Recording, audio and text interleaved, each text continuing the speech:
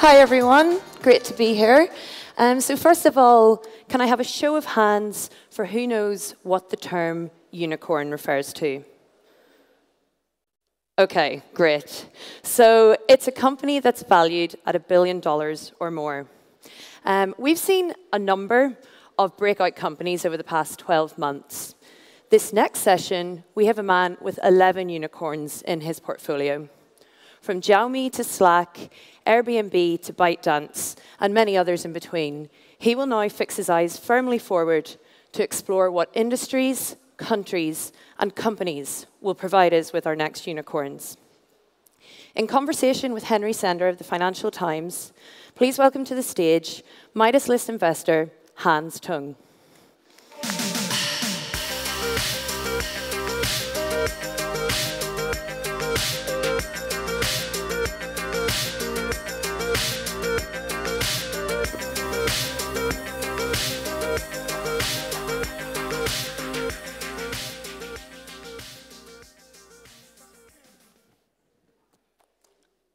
Thank you all for joining us today. Um, as you know from the program, uh, this panel is about where the next unicorn will come from. And when we were talking yesterday about what we would talk about today, I asked Han, why are you on the wrong side of the Pacific? why aren't you here? Since won't the next unicorn come from China? Um, GGV has been around since uh, 2000. We started out in uh, Silicon Valley. And then in 2003, um, we made this little um, investment in this little company that was extremely uh, vocal uh, by the name of uh, Alibaba. And then uh, the valuation of Alibaba back in 2003 was a very expensive $180 million. Um, Two years later, uh, Jerry Yang, on behalf of, of uh, Yahoo, invested one third of Yahoo's uh, cash on the balance sheet um, at a whopping valuation of five billion. Um, this is 2005, and everyone in Silicon Valley on Sand Hill Road thought that was crazy. That there's a bubble in China, and clearly, given the knowledge of what happened in 2000, that bubble was going to burst. Uh, fast forward today, um, Alibaba is worth half a trillion. In the um, what we saw in China in the last 13 years taught us a lot. And if, to answer your question, yes, I think that there will be more unicorns coming from China over the next five to 10 years uh, than almost anywhere else in the world. And um, not only is the number going to be greater, the size of each could be uh, just as big, if not greater, than their American counterparts. Should we conclude from that that we've seen the best days of US tech, that China will not only dominate but marginalize? Um, we don't look at it that way, um, partially because we think that the Chinese companies are good in certain areas, as you know, and the US have a lead in others. When it comes to um, autonomous driving, we think that U.S. is definitely as ahead with uh, Waymo. In China, Baidu is doing something, but the actual talent who know how to do autonomous driving tend to be more on the uh, U.S. But the number of areas where U.S. has a clear lead, whether this is on chips, autonomous driving, um, is coming down. And the um, talent level and experience and the scale of Chinese company are growing at a much faster rate and the Chinese company are growing with less restrictions on experimentation and what they could do in medtech and in uh, AI and machine learning and so forth. So um, the, the two sides will become much closer to each other. And hopefully, it will be more of co-opetition, um, friendly but competitive instead of hostile. I mean, if you look at the US, a lot of the technology that's actually US technology, whether it's Intel chips or a lot of other technology, originally comes from Israel. Mm -hmm. Do you see any other places in the world that will give rise to unicorns in coming years? Although we don't have uh, much investments in India, I'm a small personal investor in both uh, Flipkart and Snapdeal. Uh, in Snapdeal since 2012. Um, we think that India and Indonesia, um, potentially uh, uh, uh Russia, Eastern Europe, and uh, different parts of the Middle East can give rise um, to unicorns. And it's possible that could happen even in Latin America with Brazil and to some extent Mexico. So we think that the number of unicorns that's coming out from rest of the world will be greater than before as smartphone penetration continue to um, uh, take its course. Another thing we also see is that, that both American and Chinese companies are increasingly more active beyond their home court to expand their business or make strategic investments in uh, developing countries around the world. And the, well, politics is very localized. Diffusion of technology, ideas, people, and product and capital are becoming increasingly regional, if not global. You know, you, you mentioned this briefly. Let me bring out this question. How has your job in finding the companies with the best growth potential changed as a result of the entrance of three giant investors whose cost of capital is much lower than yours, by which obviously I mean Alibaba, Tencent, and SoftBank. They have financial and strategic agendas, and their cost of capital is so much cheaper than yours. Right. I think with, uh, take SoftBank as example, um, we have a number of portfolio companies that SoftBank invested in, and their pitch is quite simple. Basically, um, they will ask, tell the entrepreneur, we, we love you, we love what business you're building. Um, we will love it if you take our money. If you don't, you know, we'll just give it to someone else who will compete against you. Yeah. And um, and take ride sharing as example. SoftBank is in Didi in China. It is in Grab in Southeast Asia. Both are our portfolio company. And as a leverage, they, uh, for those you in the audience that know, Didi, Ola, uh, Grab, and Lyft had a roaming alliance.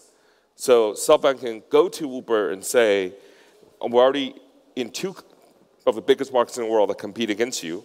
We could invest in you um, and facilitate more collaboration um, for you with the um, counterparts in China and Southeast Asia, or we just give that money to Lyft and have Lyft compete against you. So it forced Uber to rethink how you should uh, analyze the entire market. Um, and having, having SoftBank, whose cost of capital obviously lower than Uber's, it makes a difference. And in addition, with Tencent and Alibaba, both are very active making investments, and their cost of capital definitely is lower than ours. So what we have done, and many other funds have done, is start investing earlier and earlier. And then some of us are also growing our AUM so that we can have more chips to play with at a later stage when a company obviously is reaching a unicorn size. So you're going to see more mega funds happen. Sequoia is already doing that, and the rest of us are adjusting as well. There are some people who say originally these companies helped further innovation. Now they're impeding innovation. Do you agree with that analysis? I think yes and no. Um, if the uh, companies can leverage the capital to scale quicker um, and get to the end game, whether it's consolidation or M&A or, or, or IPO, then um, I don't think they're impeding uh, innovation. But you can argue the whim of one or two people can change the course of an entire industry. And the, the probability of things go wrong is a lot higher um, as a result, uh, much less predictable. So they also force you to almost um, not only race ahead to be number one in your category, but be wary of your competitor and figure out, um, game theory wise, should you merge with buy the number three guy, number four guy, so you can keep the number two guy in check. Um, what do you do to make sure that all the moves are kind of covered before the big boy come in to change the dynamic, dynamics of a category? So it forces all of us, both the VCs and entrepreneurs, to think several steps ahead. It uh, adds more pressure, but that's not necessarily a bad thing. You know, you had said one way in which they change what you're doing is to make you an earlier stage Correct. investor. Does that also affect how you see exits? Do you look at these as your exit? I will nurture these companies and then I will flip them not to the public market, but to these giant investors. If the founders feel that they, they have a lot at stake, they don't want to get diluted, what will end up happening is that they'll take some of the investment from, from a SoftBank or Ali or Tencent in form of primary shares. They will also ask some of the existing shareholder to sell some.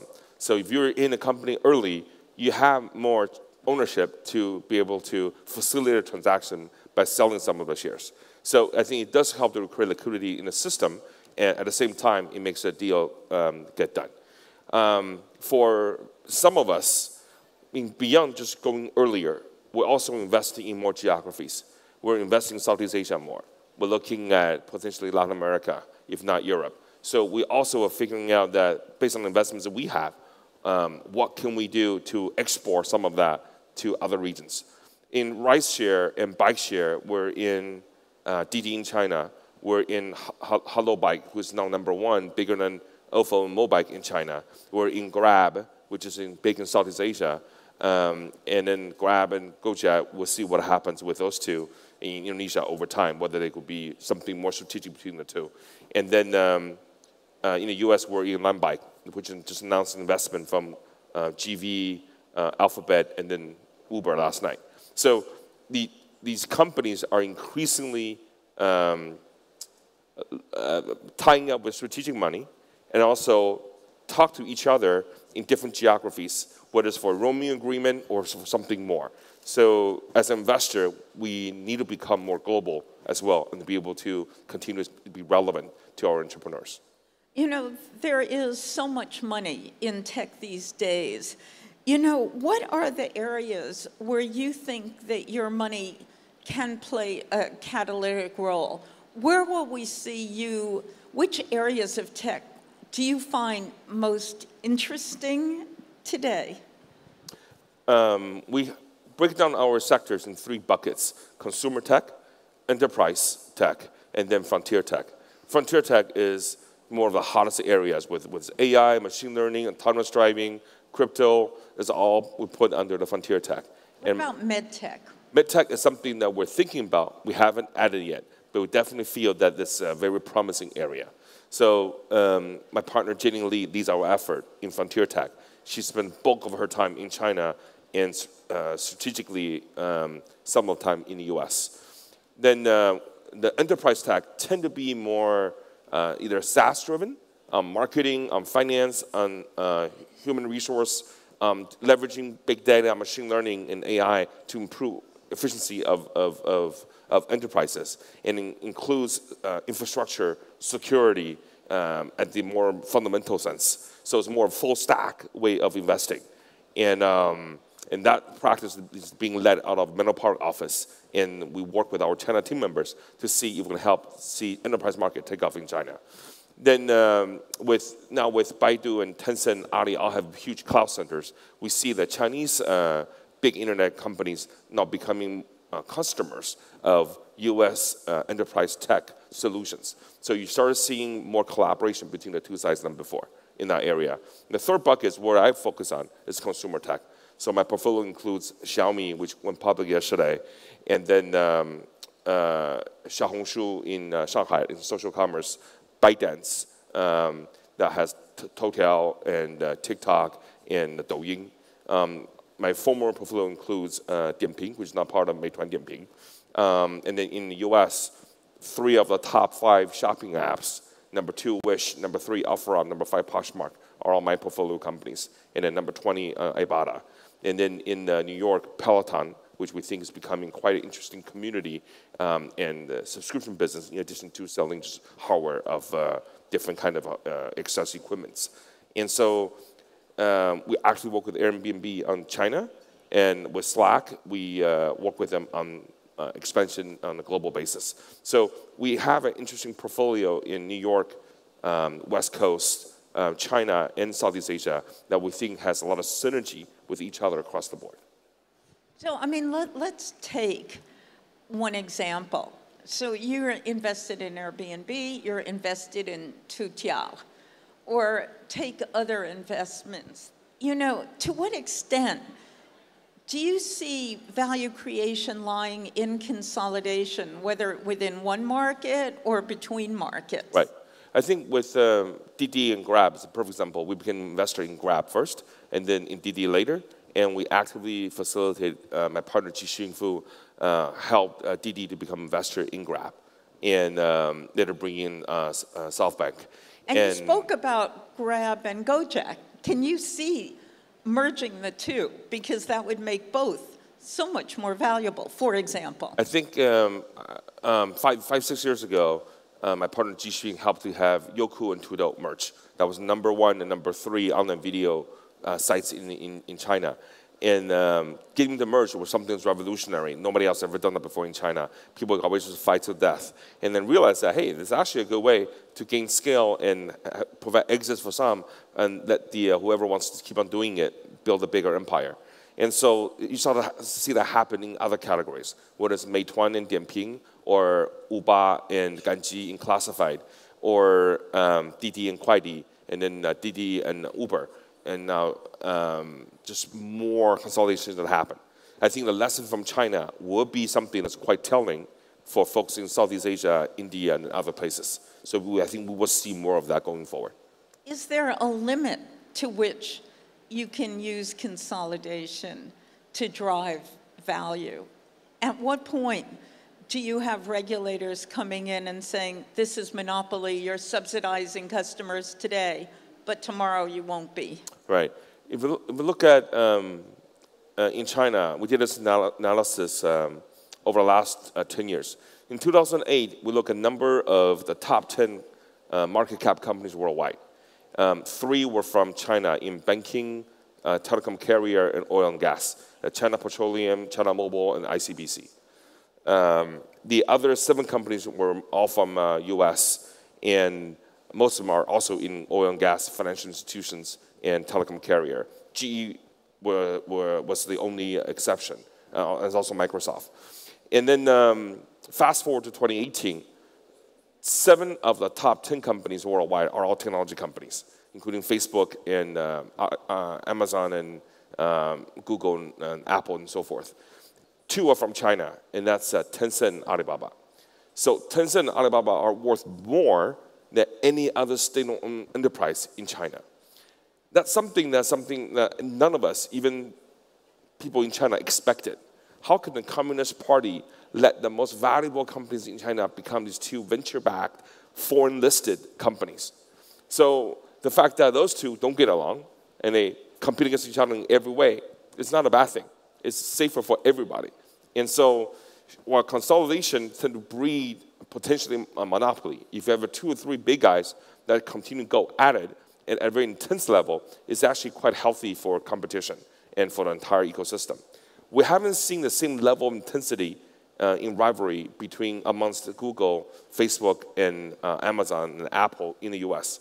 Our predictions is that that will change as Amazon continues to get bigger and start dominating every category and have hardware and software services, AWS, e-commerce, advertising, that eventually Facebook and Google will respond, much the same way that Tencent responded to, to Alibaba.